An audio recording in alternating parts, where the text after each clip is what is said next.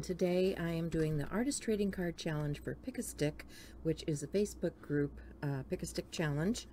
And uh, we have two challenges each month. This is the Artist trading, trading Card Challenge. The other one is for a journal page.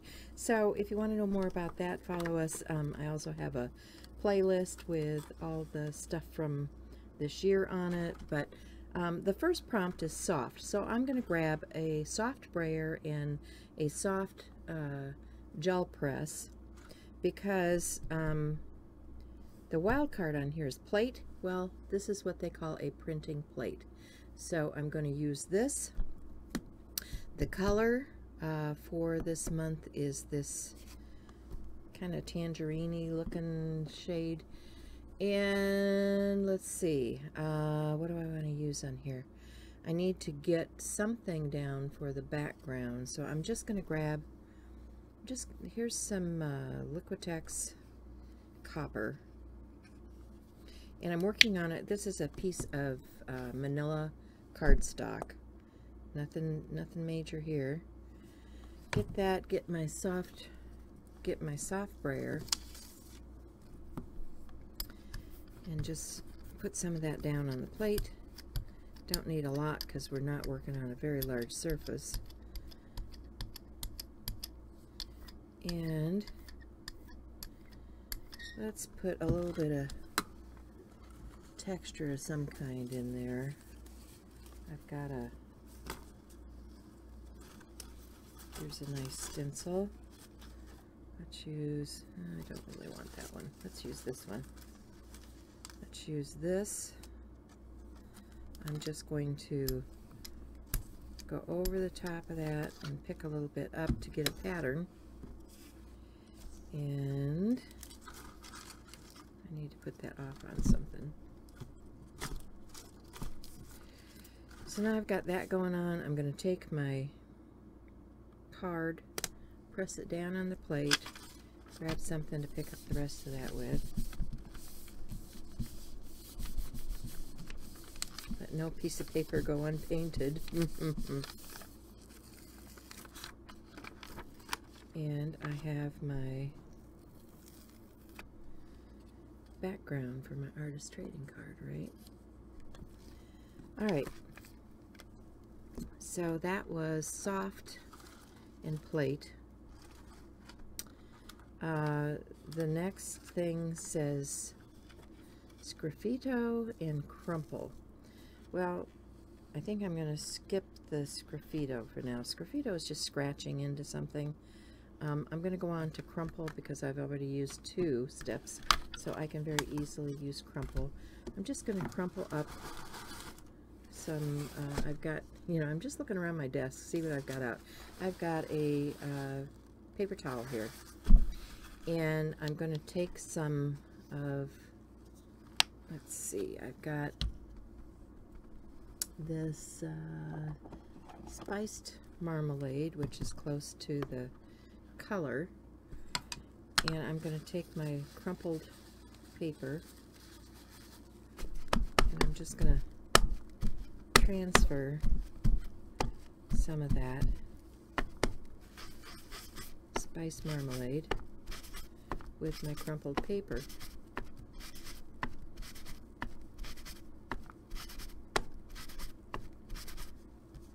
Okay, so that's crumple. So we've met pretty much what we need to for the challenge, but hey, we're not done with this. We're nowhere near done with this. Um, so now I want to add some more texture to this. So I've got a stamp. This is from, uh, it's called Dragonfly Collage from Technique Junkies. It's S381. Uh, Gonna grab that. And I want that, I don't want that to stand out too much. I want it kind of in the background. So let me see, what do I want to use? What do I want to use? Let me get some walnut stain oxide ink, distress oxide, and figure out what portion of this stamp I want to use.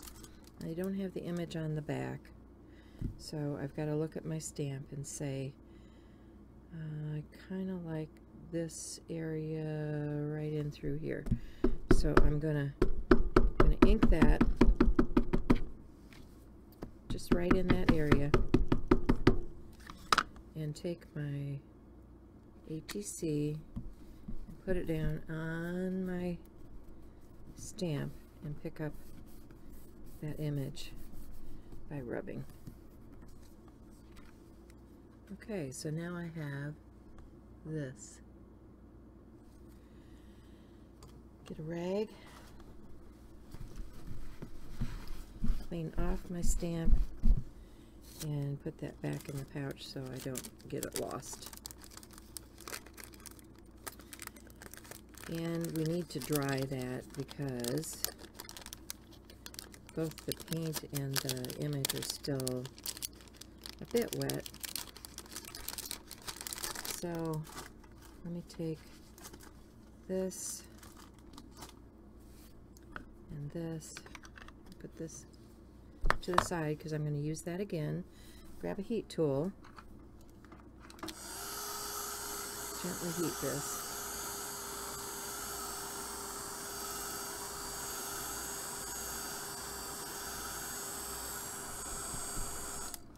Okay, so that's not totally dry, but pretty much dry. So now I want that Distress Oxide stain once again. I need one without a lid on it. There we go.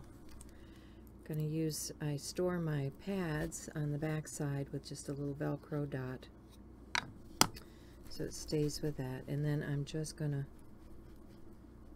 do the edging on my artist trading card. Just like this, very easily pick up some of that ink and do that. I think I also want something with a little more depth. So I will grab a, if I can find it, here's a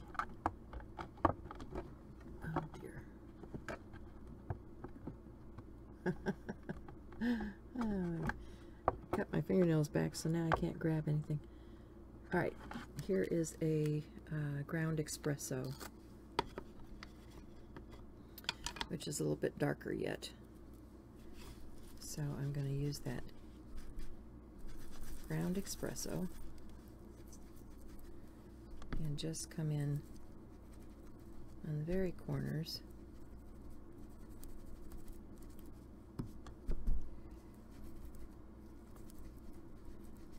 like so. And then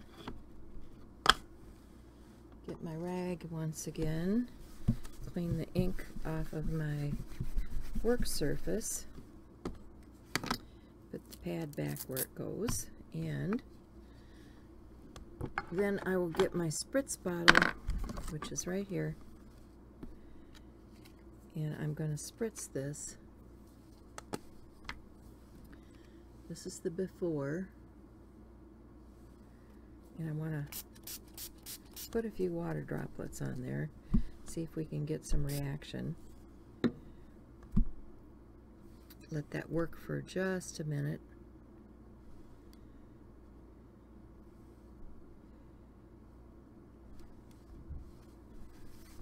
A little more of that off of my... You see the water drops on there? All right, and I'm gonna grab that with my towel and gonna heat set.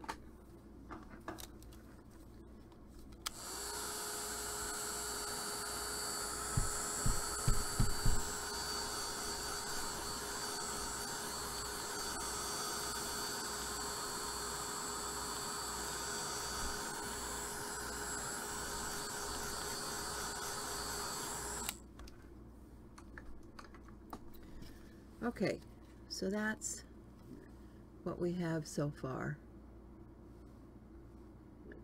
Lovely layers. All right. So now I need to put something on here for a focal So let me go find that. Okay, so I have these uh, folders with all kinds of bits and bobs in them. And I leafed through and grabbed a few things. I like this gal here. I think I just need to release her from the paper.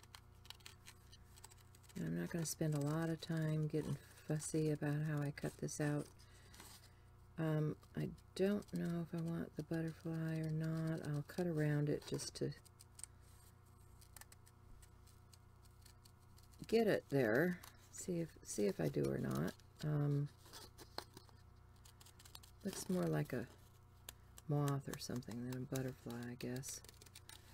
And this is paper from uh, Susan Lenart Kazmer and Ranger. So it's readily accessible for you guys if you're looking for imagery like this. Um, you can go to the Ranger website and buy it, or I'm sure there are a number of other online sites that carry this sort of thing. Okay, so yeah, I think I like her. Yeah, I do. I don't know if I like that butterfly or if I want to do a different one. I also pulled out, I've got a, this is just a piece of um, die cut. I think I might put in behind her. So let me get my glue stick and get to going here. Yeah, this, this is more of that paper. I considered this uh, queenly looking gal but um, let's get the glue stick and get this stuff down. This didn't pop out. And I'm not going to use the whole thing, so I'm not going to worry about the rest of it over there. Um, here's my UHU trusty glue stick. And I'm just going to put some glue on this edge where I'm going to apply this die, get my rag, and pick up anything that is in between there. And my scissors to cut this off.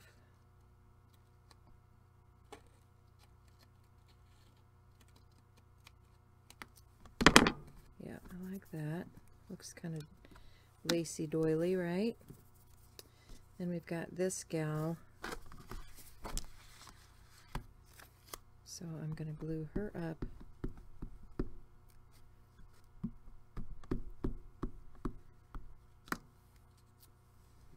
And apply her to this piece right down here like so.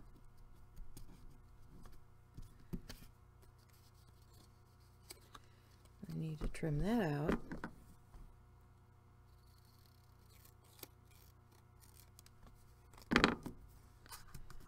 Okay. And then, let's see. I need a quote of some time type, and I also, let's see what do I have. Um, do that butterfly. Do I want that butterfly?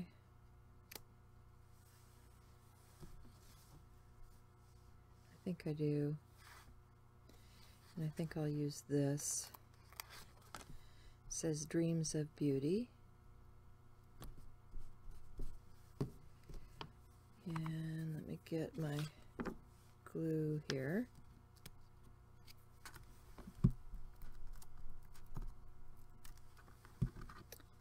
And we'll get that down like so.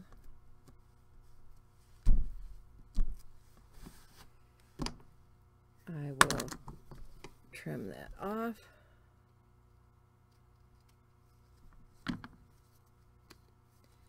And I will get a marker wherever they are. Don't really think I want that one. That's too bold. Um, here's a here's a stabilo. So I've got a brown stabilo and a watercolor brush someplace.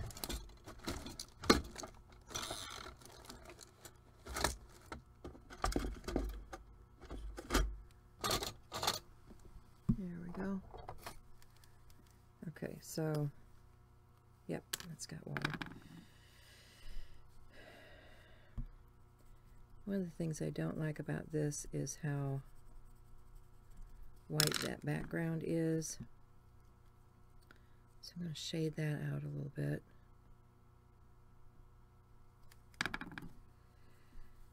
And go around the butterfly with this Stabilo.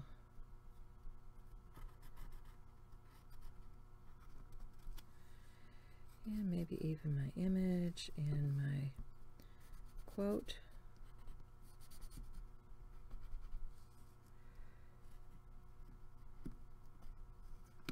Just get a little shading in there.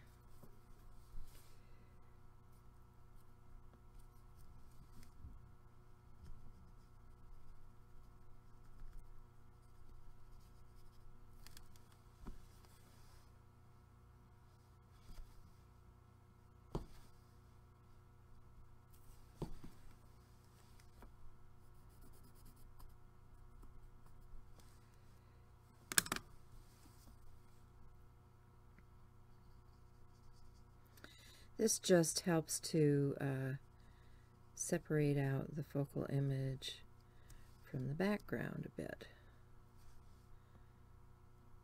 And that's why I do this. And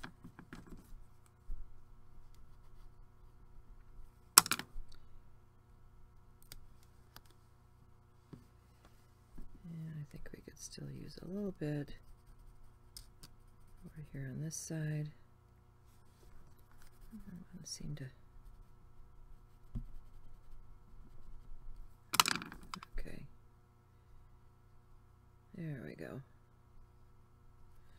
Okay. Hit that with a heat tool.